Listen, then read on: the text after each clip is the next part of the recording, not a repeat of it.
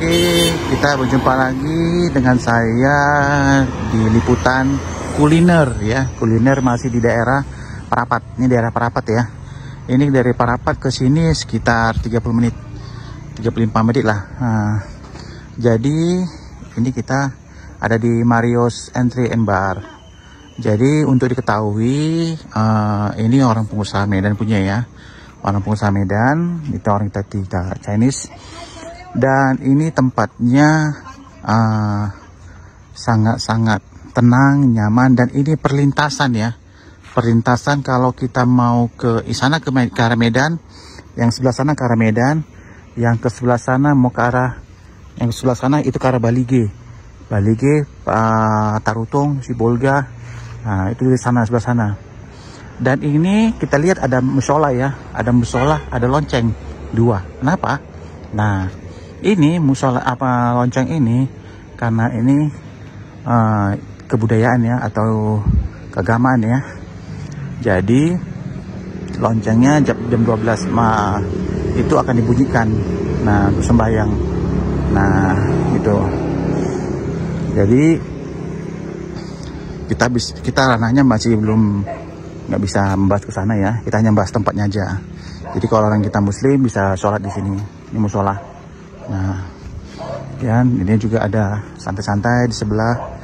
Nah, nah, suasananya enak, tenang di sini. Hmm, parkirannya pun sangat luas ya. Nah.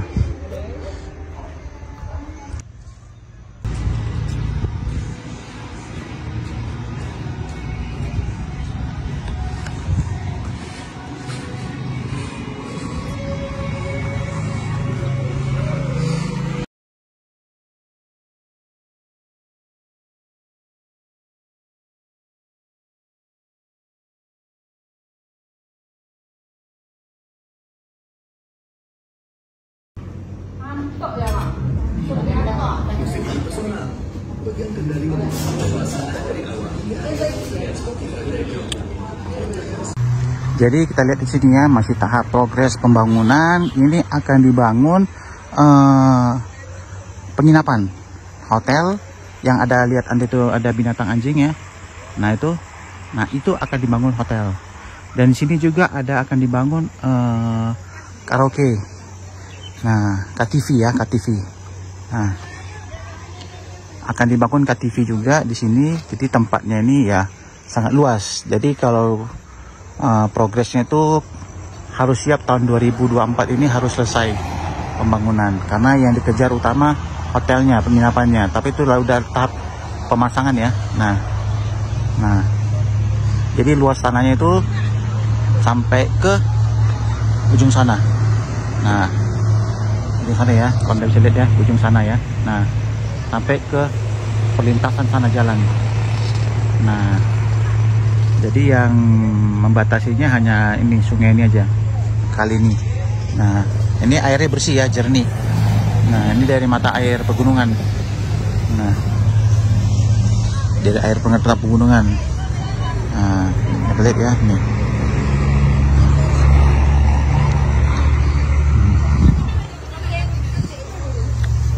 Jadi untuk sementara tempat ini bukanya dari jam 12 jam 12 siang sampai jam 8 malam untuk sementara waktu ini. Nah, kenapa untuk untuk selanjutnya kenapa nggak buka buka malam? Karena uh, progresnya sementara bukan uh, restoran dulu. Nah, jadi yang dikejar itu penginapannya sama karaoke-nya. Nah, ya, tempatnya sangat nyaman, segar, sejuk. Nah. Nah. Nih. Nah.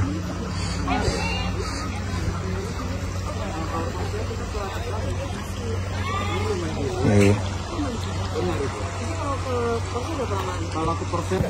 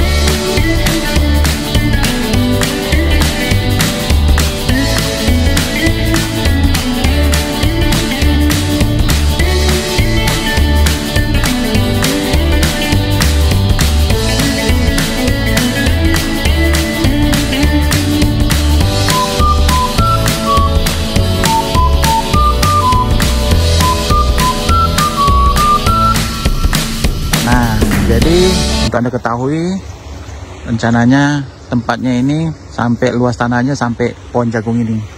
Nah anda lihat pohon jagung. Nah sampai ke depan sana. Nah tempatnya luas tanahnya. Dan rencana lagi akan dibeli lagi sampai ke bukit sana nah nah lebarnya sampai sana. Nah tuh.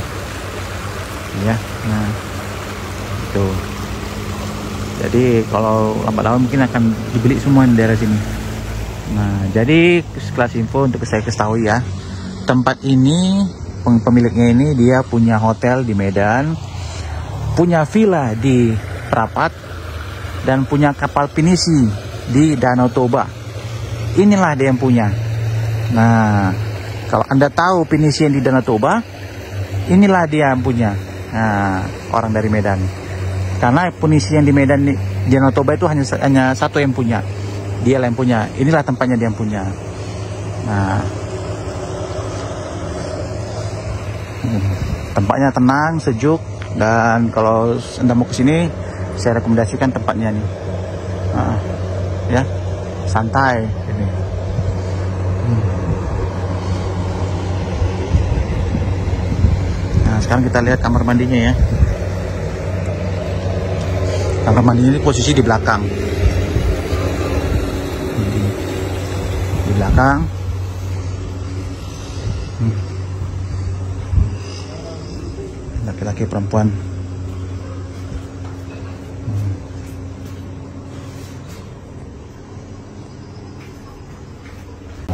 Jadi wastafelnya di sini ya. Kalau anda mau cuci tangan ini pas di belakang toilet jadi rencananya ini akan dibangun jembatan ya. Jembatan untuk menghubungkan jembatan untuk menghubungkan ke sana.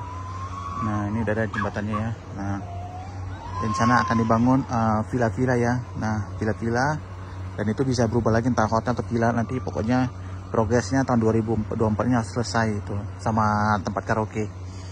Nah, KTV nah lihat ya rame di sini sekarang. Nah progres pembangunannya masih terus berjalan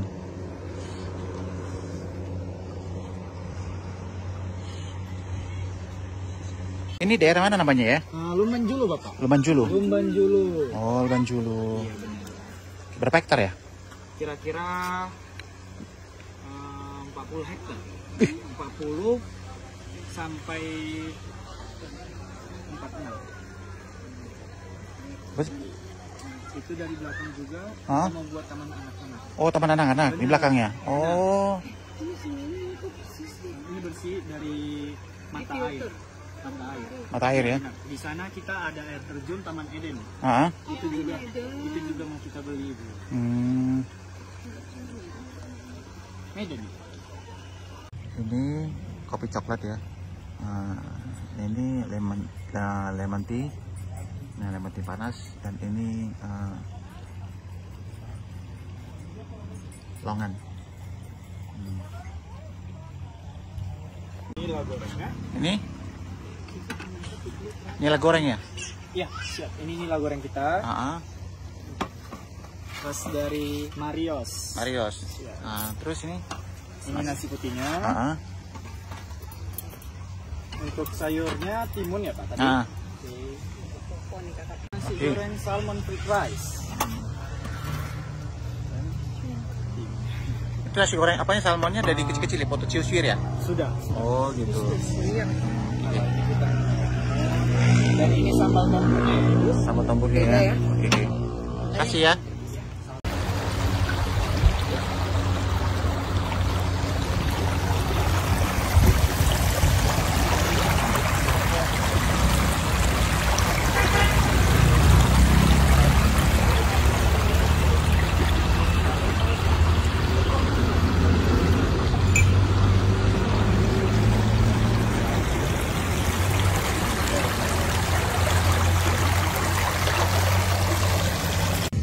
Jadi ini anduk yang kalau misalnya anda mau mandi di situ bisa beli ini. Ini 20.000 harganya.